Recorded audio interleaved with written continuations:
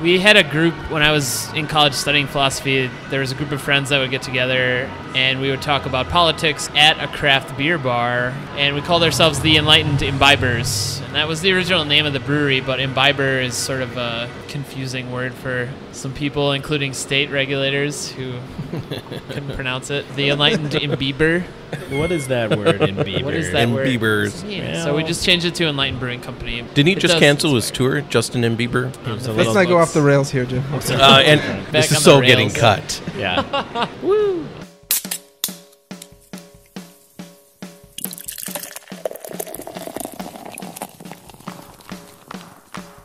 Cheers. Tap takeover. Tap takeover. Tap takeover.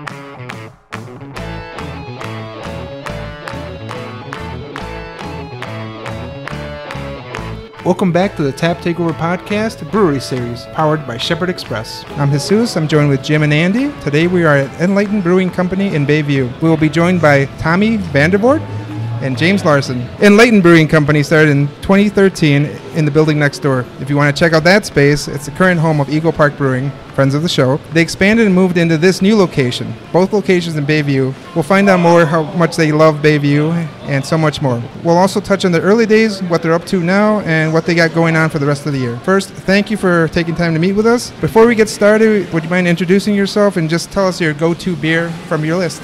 Ooh, from our list? Yeah. So I'm Tommy Vandervort. I'm co-owner of Enlightened Brewing Company. I would say the one I come back to the most is probably A Priori Pale Ale.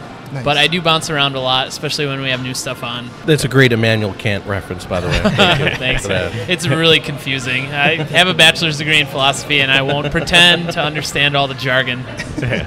Uh, and I'm James Larson, uh, also co-owner, and I am a Cream City Bricks man. It's nice work Sure beer, are. hot time, hot summertime beer.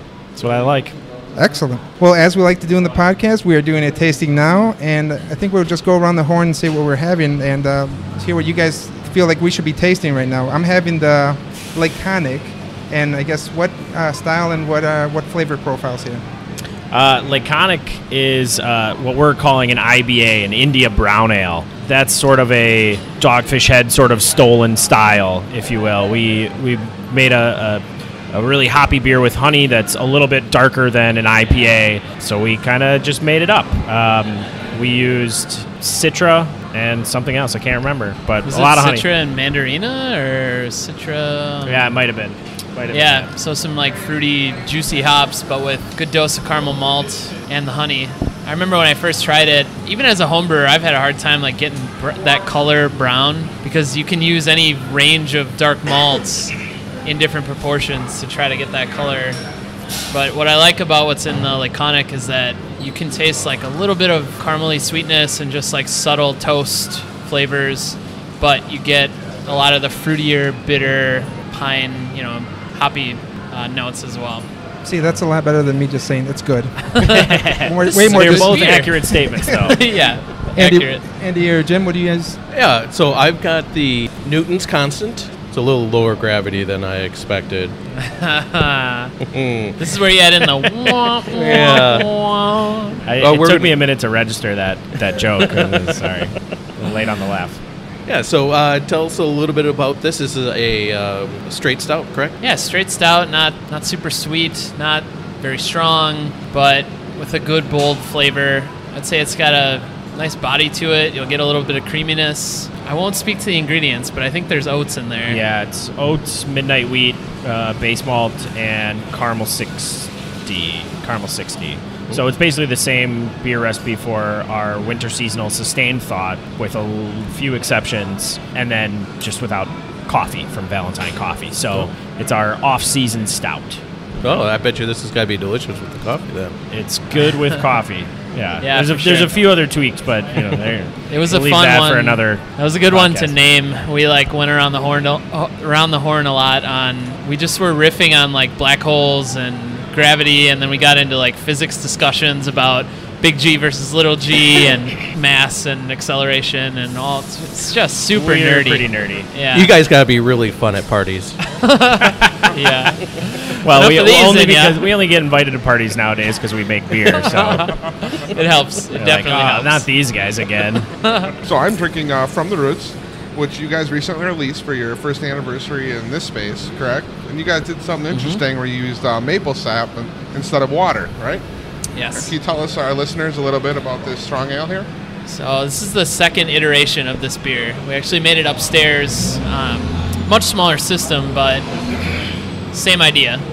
Yeah, so the first one, a friend of mine stopped by the warehouse and he was going to try and ferment and then distill at the distillery next door, Twisted Path Distillery, the maple sap that he had collected to make maple syrup with. But the maple sap has such a low gravity that you can't ferment it really. It's probably the same gravity as a finished beer. And so Tommy and I probably had the same idea at the same time where we said, well, why don't we just use it instead of water? Yeah, it looks like water. happens?" It kind of acts like water. It, you taste it, and it's not very sweet, but it does Right. have just such a subtle amount of. You can barely detect it. yeah. Th- that was your first foray into bottling, too, wasn't it? Yeah. The second time we did it was this time around. We collected a, a lot more maple sap. We filled two fermenters with maple sap, and then when we were ready to brew, transferred it over to the hot liquor tank. We tried to stay within the same sort of vein as the original one, which was sort of this interesting dark ale. And so I looked at the old recipe and tried to use what we had for this time around, and you know, this is what we got. And so it's on tap for now until it's gone. Yeah, we sold out of all the out, bottles. So. we had that release day for uh, corresponding with our one year anniversary of opening the tap room. We were honestly we were pretty surprised, blown away by the response that the fact that we were able to move through all those bottles in like three hours. It was just incredible. I was here. It's like people were coming in buying full cases of it. It was Yeah. wild, and we didn't put a limit on it, so we we wanted to get it in people's hands. So we didn't say you can only buy one bottle. Just come in and get as much as you want. So, It's a lot of and what are you gentlemen enjoying this evening? Actually, both of us drinking Cream City Bricks right now. That's right. The go-to, the go-to Cream City. It's probably the beer we moved through the most of. Um, light-bodied cream ale, easy drinking, the style that's been around since before Prohibition. Sort of the the German ale. Um, yeah, so it's the, the the version. ale version of their premium quality lager. So in the winter time or in the summertime when they didn't have the right temperatures or they couldn't get ice to lager their beer, they turned to ale recipes to turn their beer over in a similar fashion and faster, I suppose. So Excellent. Great. So uh, let's get a little history on you guys. So you both started out as home brewers. For each of you, what really was the genesis that got you started brewing? You know, I was a bartender for a long time in the service industry, and I that's how I got to know a lot of different kinds of beers. Basically, I got a homebrew kit for Christmas, and the rest is history. I fell in love with the process of brewing, and I just thought it was really cool that it was it was really cool to drink a beer that was like known as a world class beer, and and also know something about the process of making it. The fact that you could appreciate that somebody actually made this beer. I don't know. It was there was such a disconnect for me for a long time between drinking a beer and how it was made. But once I got to know that process and realized that somebody does that for a living, that's what I wanted to do for a living. So I started making a lot of different kinds of beer and sharing it with my bartender friends, and found a way to turn it into a business. You know, do it for a living. That was always the goal. yeah, I suppose mine's a, a similar story. I, I started drinking, you know, younger age, I suppose. 20, Uh, 21, right? Yeah, 21, of course. The, right on the day, 21. 21, definitely 21. You know, I was sitting around drinking with, you know, some friends, and uh, I was drinking Spotted Cow or something like that, and they were all drinking PBR and, you know, Old Milwaukee and all these things, and I didn't really enjoy them. I didn't think that they tasted very good. And, you know, I, I have found an appreciation for them now. I they're not bad beers. I enjoy those beers on occasion, but I kind of recognized that there was more to beer than meets the eye. There's more to beer than commodity brand beer. And I said, somebody does this for a living. How do I do this for a living? So I went to, you know, I, I was in college at the time and I started with um, microbiology and organic chemistry. Couldn't hack that, didn't understand it. It was all too weird for me. So I dropped out of that. And then I went to mechanical engineering. That wasn't working. So dropped out of that and asked my dad hard. what to do. And he said, why don't you get a marketing degree? Uh, so I did that and tried to get a job in a brewery. And they said, do you want to run our Facebook? That sounds cool, right? I'm like, no. So I actually went back to school and got a master's degree in brewing and distilling in order to get a job as a, as a brewer at Bell's Brewing Company. So I had to get another degree in order to get a job, and I loved it. So I did that, and then met Tommy and came on here. Yeah. So, but your degree is not from a local university, is it? No, it's not from a local university. I went to uh, Heriot-Watt University in Edinburgh, Scotland. How did you end up there? Well, I knew that I wanted to get a master's degree. I didn't want a certificate or, you know, some other form of degree, a diploma or something like that. I wanted to make sure that, you know, it was worth the time and energy that it was. I looked around and I applied to UC Davis, uh, where there's a number of different degrees, but they do um, a, a master brewers program, which I found out wasn't a master's degree. It was just a, you know, it was similar to a diploma or something like that, a little more intensive, and it was definitely a great program. But I couldn't actually get in because I didn't have an engineering or a biological sciences background. Sure enough, Heriot-Watt was looking for business students because they were launching a business in the food and beverage industries program within the brewing and distilling program, and so they, they let me in and they, they let me have some fun with them. And thankfully, I passed everything. I'm, I'm still surprised at that. So are, there- are there any beers from from the early days when you guys first started that are still part of your lineup today? I think the ones that have been around the longest, Prototypical Porter, that was the first beer that we ever released to the public, I guess started selling professionally, Legally. legally. that has maintained its character from the upstairs brewery that we had down here. Cream City Bricks is a new one, Kettle Logic Amber is a new one. A Priori Pale Ale has been around for a while but has gone through a lot of different iterations. It took us some time to dial in exactly the character that we wanted. And that was just like hop additions. you Yeah, know, it- we, we started. grains. I think you designed the, the first recipe for it, and I changed a few things right off the bat. I said let's let's let's do this, let's do that, and then what we got was more of a pale ale. We were trying to do a, a hoppy amber sort of thing, and then from there we just kept making small changes, small changes. And then we decided small changes weren't cutting it, so we did one bigger big overhaul, and, and that was it. Now we're now we're with that same recipe. So Yeah, I would say a lot of the beers we just came from us deciding to make some kind of example of a style that we were interested in at the time. A lot of it depended on what raw materials we had, so we would look at the grain bills and say, "Oh, looks like we could probably make this kind of beer." Um, but we never really set out to have. We never made a beer and said, "This is our flagship," whatever you name it. Uh, it was more organic than that. So that's why a lot of the beers are new, haven't been around for a while. It took some time for us to figure it out. So there was never a aha moment that uh, you produced a, a batch and went, I could really do this. People would love to have this in their mouths. Gosh, as a home brewer, I see Yes, what you as a homebrewer. home. I see what you did there, homebrewer. Jim. I like it. As a homebrewer. Uh, as a homebrewer, I think the first beer I made was an aha moment. It was like, wow, this wasn't as hard as I thought it was going to be. And it tastes like beer, and it's getting me uh, that happy feeling like beer, you know? And, and, you know, a couple more later, and you're like, yep, let's do this. I'm starting a brewery tomorrow. It's no big deal. I've completely disowned all my homebrew recipes, and that is a function of how just stupid, elaborate the recipes that I had as a homebrewer was like, I mean, I would I mean, use but like home a dozen do that. grains. Yeah, You I can mean, do it you can buy like five pounds of this, five pounds of that, Yeah. whatever, and then hop additions. You can play around, with, you know, just using an ounce at a time or something like that. So Twenty percent really of my grist bill will actually be hops. nice. Yeah. Yeah, we don't do, do that. whatever you want. yeah, it's it's a little more keep it simple on you know as you get to scale. So from those early days, now you want a brewery. So what can you tell us a little bit about those growing pains and tell us about the small space you were in before? I think we made it hard on ourselves on a, in a lot of ways because we did start so small, but it was sort of the only way that we could get going without accumulating a ton of debt or you know I don't we don't we don't have rich uncles or anything like that that could get us going on a big system. So it was basically take our homebrew system and get it licensed, find a commercial space, and figure out how we can make some beer that at least we could get out to the neighborhood. So that's where it all started was put the homebrew in a warehouse space in in our neighborhood in Bayview. So that second floor brewery that we had was just 500 square feet. We were doing 15 gallons at a time. We had a 15, I guess a half barrel brew house with one barrel fermentation tanks and a three barrel bright tank.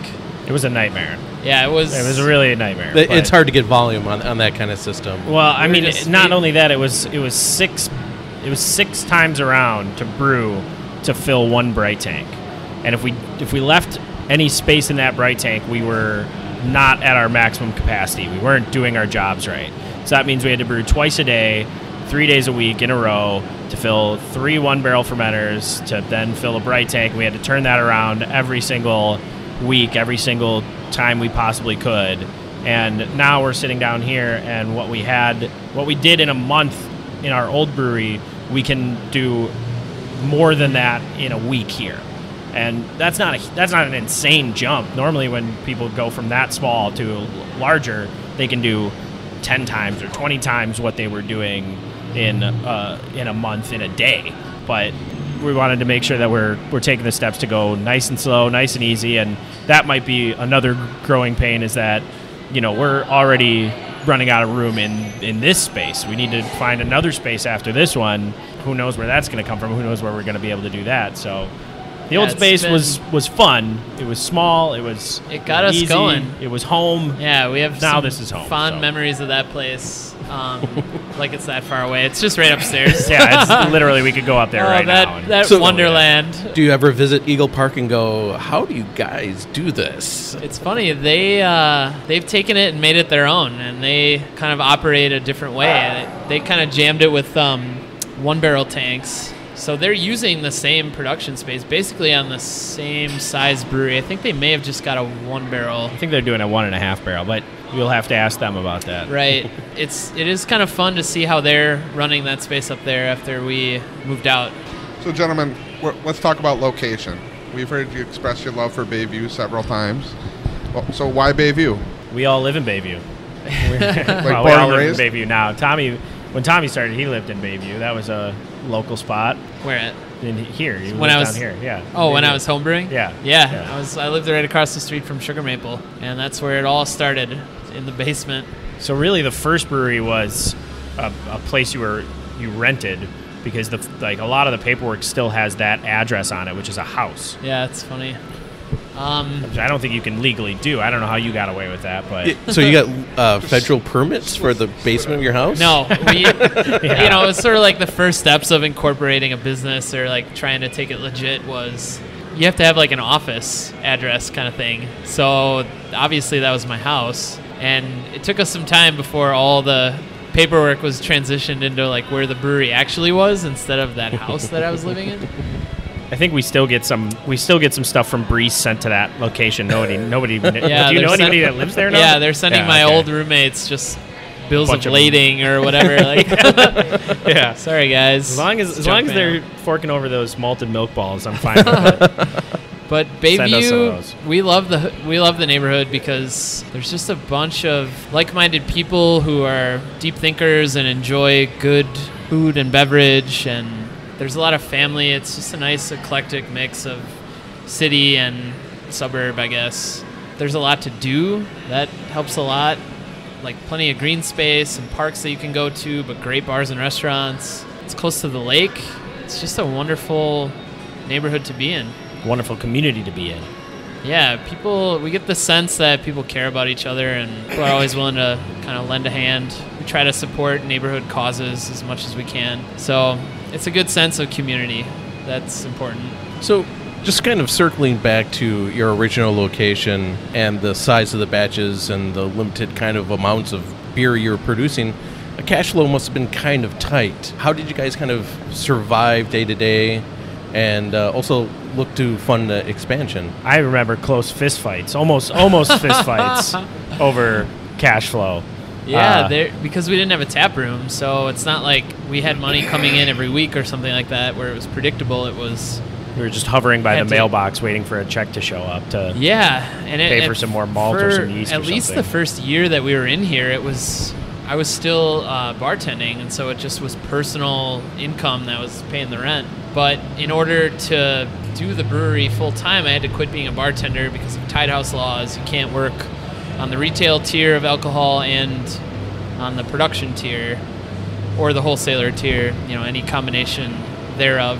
once I lost that source of income, it was like really critical to get out and start selling beer to bars and restaurants. But there was no space for a tap room, even if we wanted it up there. Eagle Park rented the space next to them, and that's where their tap room is now. But at, at the time we were up there, that was occupied by somebody. So it was, yeah, it was hard scrabble, and I don't, we've always been kind of a scrappy bootstrap style brewery. I lived I lived with my what we have to do. parents. I quit I quit a job at another brewery because I couldn't couldn't keep up with the amount of work that we had to do to keep turning beer out and keep getting stuff on the on the truck or in the back of my car to get to a bar and restaurant. So I moved in with my parents and said, "All right, I don't have any income. Let me just let me just do this uh, as much as I possibly can. Like we need to we need to get moving on this." So And we've done a lot of things ourselves too, like especially with this build out down here, installing the trench drain and you guys installing the tanks and we built the walk-in cooler that we have and it was just much as we could do on our own.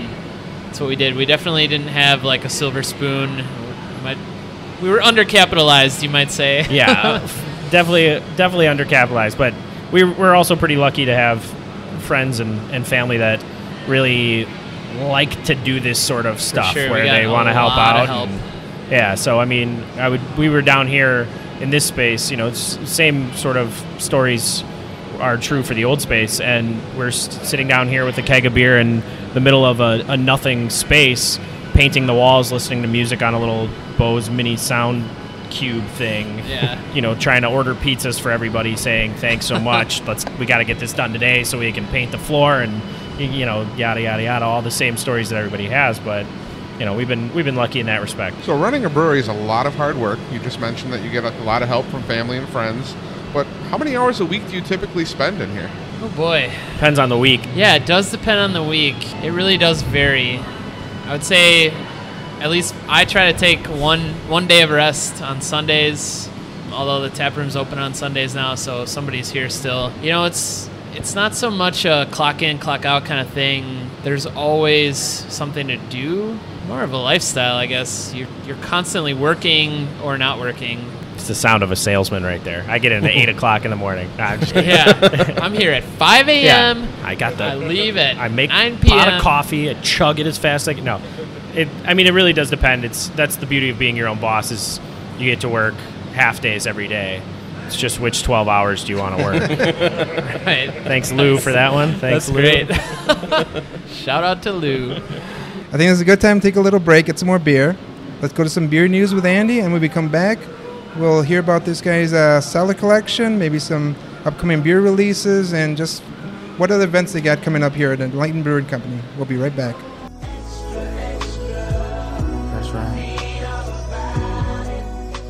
Welcome back to this episode's edition of Beer News, recorded on 11-7 of 2017. The rumors have been confirmed, folks. Founders is bringing back CBS Canadian Breakfast Stout starting December 1st at the brewery. Tickets go on sale November 11th at 11 a.m. Eastern Standard Time through the link found on the Founders website. If you don't get tickets or you do not feel like traveling to Michigan, don't worry, folks. CBS, which hasn't been bottled since 2011, will be hitting distro in all 48 states that Founders distributes in. But you better make sure that you keep an eye on your social media sites for all your favorite beer stops because this one is going to go extremely fast depending on how big they go in their distro. Let's hope it's big as the annual KBS run. This time of year marks the re- annual release of Perennials Abraxas. This pepper stout hits Midwest distribution within the next two weeks. It was released at the brewery in St. Louis last weekend,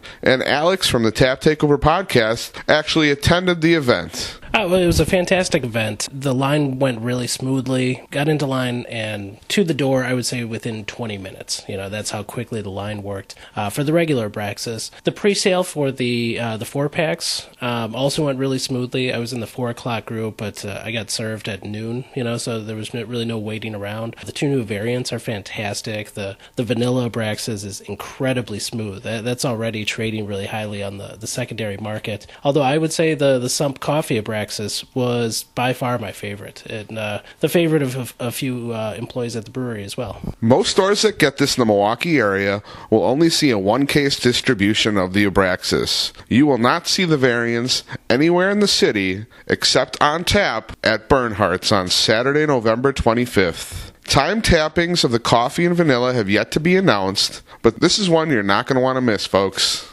Start planning now for Lakefront's annual Black Friday release on November 24th at 8 a.m. We suggest getting there earlier this year as a one bottle limit of very special edition Black Friday will be available to the first thousand people. This Triple X named Black Friday is a blend of the previous three years of Black Friday. Not only can you get three bottles of the regular Black Friday, which was aged in rye whiskey barrels this year for the first time ever. This event is always a blast and a must attend for the TTP crew every year, so we, we will see you in line super early and maybe we'll share a beer together. If interested, make sure you email us at taptakeoverpodcast at gmail.com and maybe we can arrange a bottle share. Also on Black Friday, after you picked up your allotment at Lakefront, make sure you're checking your local stores for info about the upcoming Goose Island Bourbon County release. This release is a hit every single year, and everything that hits the stores sells very quickly, so you're going to want to have a line on this one. On Saturday, on Saturday, December 16th, Good City releases their second edition of Density at 10 a.m. This barrel-aged double stout was a big hit last year in the area, and we're sure it won't disappoint this year too. They will also be releasing 16-ounce cans of Dr. J IPA. And this has been Beer News.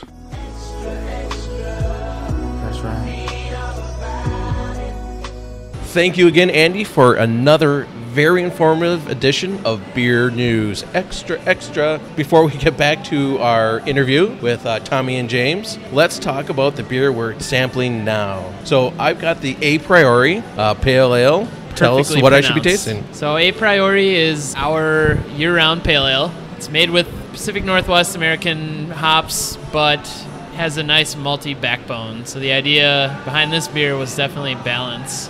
We didn't want a super dry, super hoppy, bitter bomb. We wanted to put it in balance. Yeah, it's like a Anglo-American pale ale is a, a funnier way to put it. I, I think. Yeah. But it's got Columbus, Cascade, and Centennial, and it's super simple grain bill. So it's just base malt, carapils, and caramel 60. Awesome, and I have your uh, pale wheat, the daily stipend. Yep, pale wheat's the summer seasonal, spring summer seasonal for us.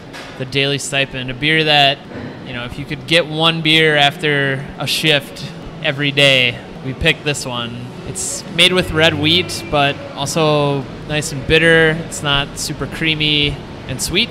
Mandarina Bavaria is the hop that's in it, so a single hopped with that. So, so you could bring back the old Pabst, you know, beer break, right, with the daily stipend. The beer break, yeah. well, it's called the Daily Stipend because our now head brewer, who came on as, as an intern originally and kind of morphed through the I don't know the stations of the the brewery, if Yeah. you will. No, no, not to make it all weird and, and religious or anything like that, but he would bring 12 ounce medicine bottle as a growler because we would be sampling beers all day. We'd have a couple beers at the end of the day in the old brewery. We'd hang out. We would talk about it. We'd clean up. It'd be great. And then he was like, "Well, I don't want to. I don't want to drink too much more when I get home because then I'm hungover and I don't want to come into work. But I definitely want some more beer when I get home." So he would take one beer home, and you know, we kind of named this beer for his weird 12 ounce growler. Mike's, thing. it was Mike's daily stipend. Mike's daily stipend. So. Awesome. And uh, I have the Kettle Logic Amber, so tell us about that one. Kettle Logic was the first amber that we ever tried to make. Even I don't know if I should say it or not. Say it. Say it. we wanted to make we wanted to make an amber that didn't suck. We had a lot of ambers out there. That, Ooh. yeah. I mean, not to knock other people's beer or whatever, but It wasn't a style matter that we preference. particularly enjoyed. We just hadn't had that much success. There are amazing ambers out there. We definitely love them, but it's one of those ones where it was harder for us to sink in to that style. So actually, I still have the original recipe in my notebook because Tommy came to me and said, "Hey, dude, can you make an amber that doesn't suck?" So I wrote down in my my notebook. Amber that doesn't suck. Thankfully, we got a better name with Kettle Logic. yeah, so a lighter beer. It's not a, a, big malt bomb. It's not super biscuity. It does have that nice amber color without a lot of the extra oomph that you get out of some ambers on the market. Well, speaking of the beer names, you already explained Daily Stipend, but you have some unique beer names. How did you come up with those? So a lot of them are meant to provoke conversation or make you look something up on Wikipedia. They come from philosophy or science or just try to like add a little bit of research into the experience. So a priori pale ale that comes from Immanuel Kant and that's describes it's part of his theory of knowledge. If you know something a priori or if something is true, you have a priori knowledge. It's true by definition. So Uh, true prior, true right? Because there's post priori. Well, there's is true- posteriori, priori, a priori, and a posteriori. I that can a feel joke? so Did many people it? hitting the stop button. I know. Delete. I'm just getting schooled here It's by a philosophy just- major, though. It's just jargon, uh, but basically it's Kant's theory of knowledge. So there's a ton you can look up on the internet. Kettle logic is the same thing. It's a type of logic that's used in philosophical argument. Newton's constant obviously talks about the equation of gravity, and so we just try to like load up our beer names with more information than is. But they don't all the need to be philosophical or educational. I mean, they can be pun and awfulness fully intended here, laconic as laconic. Yeah. Uh, you know, so it's Short and sweet. blunt, brutal names. It's getting harder and harder to name beers because there are just thousands of breweries out there now. And think we have a good beer name. We search for it on Google and we find out that you know some brewery in North Carolina has already done it, or or a brewery in Europe. I mean, Yeah, there's a lot of hair tugging. There's a lot of beard tugging as well, Yeah. trying to figure out what what we can actually call a, a beer or what we have to kind of think about. Well, it's a oatmeal company in you know Texas that's really small. Do you think we can get away with it still? Uh, I don't know. I don't Was think that so. the Yeah. Hall and Hall and Oates? Oates, yeah. we made and they oat- got they got sued by the band anyway, so we're lucky we right? didn't go with it. Yeah, so. it's a good thing. It was like an oat pale ale that we wanted to call Hall in Oats, like hauling oats. punny, really punny, stuff. Because Hall and Oates is my favorite band. I think we can all agree when Rene Descartes, a drunken fart, said, I drink, therefore I am. Nice, very nice. That's true. that is true. The beer names are to make people think. Is that why your brewery name is Enlightened, or where did it come from? Yeah, it kind of harkens to that spirit of getting together and having conversation. The common thing being beer, good beer, beer that's you know well crafted and made by somebody that's in your neighborhood. That's a, a dimension of it. But we had a group when I was in college studying philosophy. There was a group of friends that would get together and we would talk about politics and all kinds of like loaded topics at a craft beer bar, always around good beer. That was the one thing that we'd always agree on was you know, enjoyable, like well-crafted beer. And we called ourselves the Enlightened Imbibers, and that was the original name of the brewery. But imbiber is sort of a confusing word for some people, including state regulators who couldn't pronounce it. The Enlightened Imbiber. What is that word in Bieber? What is that word? Imbibers. Yeah, so we just changed it to Enlightened Brewing Company, but Didn't he It just does cancel his tour, Justin and Bieber? he did. I heard. So, That's yeah, terrible. He was Oh, God. He was a Let's little not go off the rails here, Jim. One of the big questions we ask every brewer, since we are the Tap Takeover podcast, if you were to take over the taps for, for the Tap Takeover podcast, what you know, four or five beers would tell the story of Enlightened Brewery? Our beers or any beers? Your beers. Our beers. A priori, Kettle Logic, Cream City Bricks, and Prototypical Porter. There's the story. Wow. Mic drop. Yeah. Is uh, there a reason you picked those? Or is that just There kind are of- four year-round beers. I think that you get a glimpse into us as brewers and us as a company. I mean, not necessarily the full, you know, story, but you can kind of get everything. We've got something hoppy, we've got something uh, delicate and easy to drink, we've got something a little bit more sessionable, and we've got something dark. I think that covers most of the bases for me, anyway. Um, and there's also a common thread there, which is not super high ABV beers. I mean, each of those are very different beers, different styles, but the common thread is that you could have one or two without being completely hammered. What are the beers that got you guys into craft beer then? I started drinking Krol- uh, Grolsch when I was Grolsch. young. Yeah, Grolsch was was my first beer. Was a Grolsch in the UK with some family.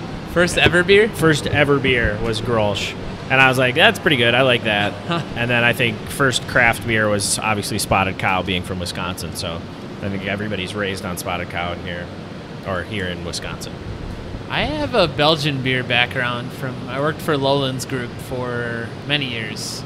Their theme was, you know, Belgian beers. including like Belgian style beers made by Goose Island and some other American brewers. I'll never forget the first beer that completely blew my mind was a Rodenbach Grand Cru sour beer. I never, I didn't know sour beers existed. I just started working there. I had just turned 21, and I just picked a bottle. I mean, it's like I would like to try one that I haven't had. So I pointed at one. and I said that one, and it was a Rodenbach Grand Cru, and it, it sent me down the rabbit hole of like, how on earth do you create a beer like this? And obviously, there's so much there about barrel aging and lacto and pedio and all the microbiology that's going on with those kinds of beers. Tons of history in Belgian beer. That was a pivotal moment for me in my beer drinking career, I think. So let's talk about your personal cellars that you may have when you're not, of course, drinking enlightened beers. Uh, do you have any whales down there that you like that you have been cellaring? Do you have a cellar? Not No, anymore. I don't have a cellar. My cellar's here now. This is my cellar. yeah. Uh, we, we've got a we've got a collection here. We've been working on getting through. We've got a few things here. I yeah, put most of some, the somebody takes a trip to Chicago or something yeah like that. most of the special beer I've got is here because that's where I do most of my drinking and most of my free time and most of my work time. So I uh, did have a cellar for a little while with a lot of Belgian beer and some sour stuff, some big stouts. I really whittled it down, partly because takes up a lot of space. I mean, I've seen guys with just racks and racks and racks of beer in their basements. Yeah. am I am I looking I think at we've got a couple one of sitting those in front Yeah. of us here, Tommy. and it's great, but I was like a little overwhelmed by having all that beer. There are some beers that are great to cellar, but beer in general is meant to enjoy, and so I really just started sharing it with a lot of friends. And before I knew it, my cellar was gone. And I actually I do have a few in the cellar right now, but just those are like beers that I pick up. Like I got a Deep Woods Cafe Deth from Revolution. I need to find the right time and place to drink that, so it's kind of stashed in the basement. And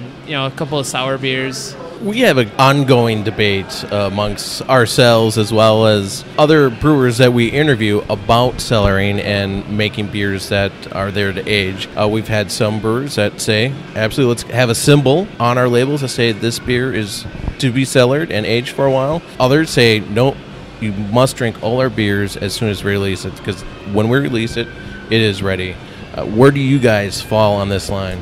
I fall under the, the the school that says you know beer is made to be drank. You know the the freshest possible beer is great beer, but you know what? It's just beer. You know at, at the end of the day, if you enjoy your beer six months old, or you find that you get something different out of it if you age a, a sour for a year and a half or something like that, then that's specific to your consumption, and that's definitely something that you should keep doing because at the end of the day, beer is to make the individual happy uh, as well as enjoy with people. So as, as long as you're not just sitting in your basement, uh, like Schmiegel on your on your gold pile or whatever, being like Squirreling away. I have all the know, Dark trading Lords and Assassins. yeah, you know, and uh, my biggest concern is that you know if, if you enjoy cellaring your beer but you drink it, great. If you enjoy drinking it fresh, great. But if it never passes your lips because you're trading for something better, that's something that, within reason, of course, uh, it's something that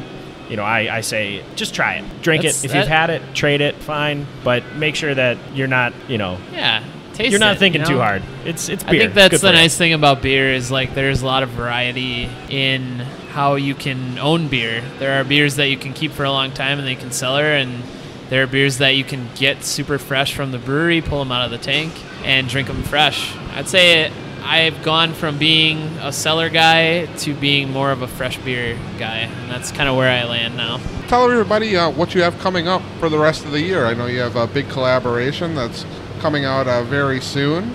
And then, do you have any others lined up for the rest of the year? A lot of events going on through summer. This week is starting Milwaukee Beer Week, Milwaukee Craft Beer Week. So a lot yeah, of you got to be careful now because I know. Milwaukee there Craft was Milwaukee Brewery Beer Week. Week. This is actually Milwaukee Craft Beer Week, Right. which Oh, we Craft struggled with. Brewery You Week. know, I've also Yeah, there's a struggled lot of- with yeah. the nomenclature. We're gonna we're gonna make no cards. We're gonna go over it. We're gonna study it. It'll be fine. yeah, Brewery um, week. So a bunch of Milwaukee breweries getting together and hosting each other and doing collaboration beers and uh, having events together. So we're really looking forward to that. Tomorrow we're releasing our collaboration with Lakefront Brewery, and they were really awesome to work with. They've been around for a long time 30, 31 years in Milwaukee. They've taken a thing, you know, from home brewing to what they have now, which is like pretty incredible. So we got a lot of respect for them, and it was fun to work with them. We made a nice pale ale with a couple of different hops. So one was basically the the difference was in the dry hopping. We used Denali hops, which was a newer one for me that I haven't heard of from Hopsteiner. Has some nice herbal notes, but also piney, citrusy. It's a fun hop. The other one is some numbers that I don't. 06972, I think, Yeah, are I the think numbers. that was the Don't- one. I mean, go and look that up. You probably won't get anywhere, but experimental it's hop. some experimental hop that they had that sounded good. I mean, we at one point we did have the numbers right, and we looked it up, and there was some interesting, you know, tasting notes on that particular hop, which were you know vanilla and uh, grape. Grape, and, yeah. Uh, it just the whole thing sounded really, really cool. And so the the concept was that we would brew two batches and we would make the same base beer and then we would dry hop each other's you know kind of like a here you go. So you know they kind of picked whichever one they wanted to take after everything was all said and done and we picked whichever one we wanted to take and thankfully we agreed that we liked the one we got better and they liked the one they got better so so yeah it was it was fun So, are you guys participating in either the Wisconsin IPA Fest and Challenge or the Project Terroir? am participating in consuming some beer at the Wisconsin IPA Fest.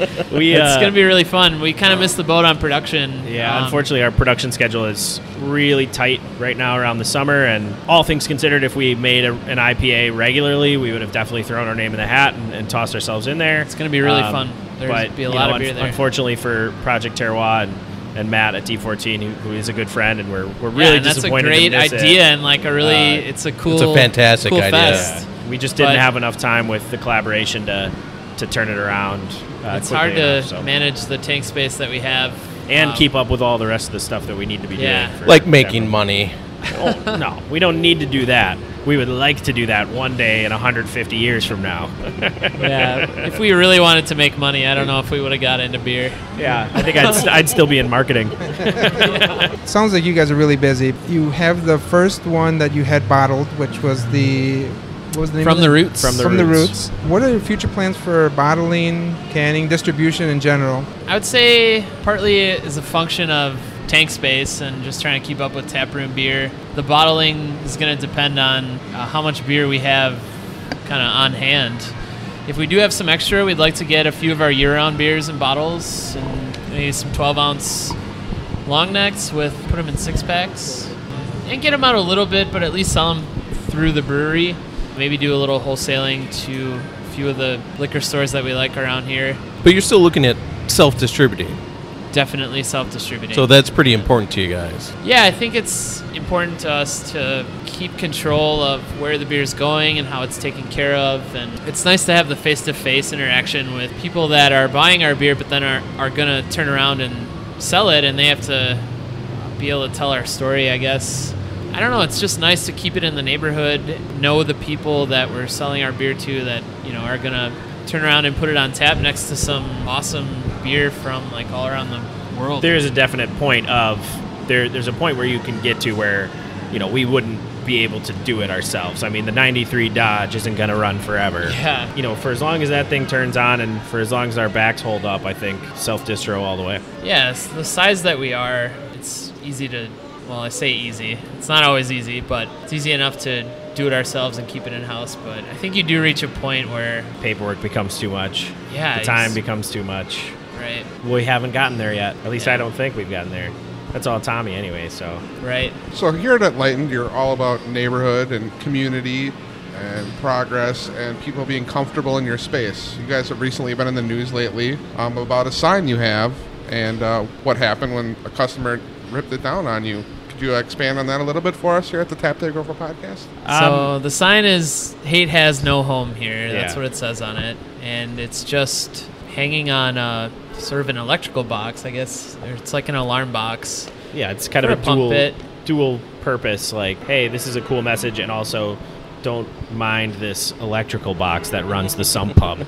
but yeah, I mean, it's uh, it's definitely some it- definitely a message that I think Tommy and I both believe in. You know, we want to make sure that you know everybody feels comfortable coming in and hanging out, and and that everybody's you know not necessarily represented. You know, we're not saying you know we we're, we this is not a mission that we are a mouthpiece for. We're not starting a movement. We're not doing anything like that. But you know, we want to give a space to people that possibly are doing that to feel comfortable and enjoy themselves. Yeah, it's Uh, not that we put it up because we think that hate is a problem in businesses around. Like, we haven't experienced hateful people coming in here and doing hateful things. We didn't put it up as a response to that.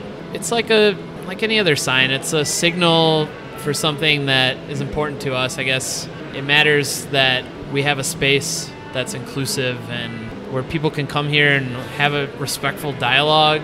Like I know there's beer involved, and if you drink beer to excess, you're more prone to arguments or whatever. But it's just a general statement about the type of space that we want to have. And we cool. had a, a gentleman in here that maybe didn't agree with that or was offended by the sign and Took umbrage. Yeah, i- i- but it was in such a interesting way. I mean, it was very quiet, and then burst of anger, and then quiet. You know, he wasn't. You know, he didn't seem to be beyond intoxicated. It wasn't anything like you know we got to keep an eye on this guy. It was you know just another average person that was in the space. So Yeah, rip, you know, rip the sign down, and we posted about it just to reiterate why we have it up and what kind of space we want. And it really it got a lot of response. a lot And, more than we um, thought it was going to. Yeah, get, a lot more than we ever was, thought. uh, so people shared it around, and there's some news about it. But it's just interesting. I mean, we never put it up to like feed into this narrative of a divided country and. I know there's a lot of news coverage about the political climate right now, and you know we're not trying to weigh in on that. We it's more of a just a general statement that we want people to be nice to each other. yeah, try to be listen civil. to your mom. Be nice to people. yeah, It's it's really just putting a, a welcome mat on the front door. You know, Yeah. you're saying that you know you're welcome to come in here, but just don't trash my place. Don't Yeah. be don't be a dick. Don't Right. be disrespectful. No, I I think it was fine. I don't think you guys made any big statement. It was just some guy who thought a certain way. You know. Yeah, when we read it, we were just like, "That's that's pretty interesting." it was all very surprising to us. The, Yeah. the entire, Everything about it was surprising. Yeah. The Yeah. whole, the, even when, yeah. So, but hopefully something positive will come out of it. No, I, I hope so. I hope so. Well, I think uh, I'm looking around the table where we're very low on beer. So I just want to thank you guys for taking some time to chat. You want to give the listeners the 411 on this place as far as hours and or anything else like that? Sure, yeah. Um, so our tap room is open Wednesday, Thursday, Friday, Saturday, Sunday. We're closed Monday and Tuesday. So Wednesday, 4 to 10, Thursday, 4 to 11, Friday, Saturday, 3 to midnight, and then Sunday, noon to 5. Try to keep eight beers on tap, four year rounds, and then four that kind of rotate. James and I are behind the, the bar a lot, pouring beers, and it's really nice to have that interaction with people. So come say come, hi. Come check out what we do. I mean, it's all here on display. Excellent. So for myself, Jesus, This is Jim. Andy. I'm James. And I'm Tommy. this has been another solid non-fail podcast. Cheers, guys. Cheers. Cheers. Cheers.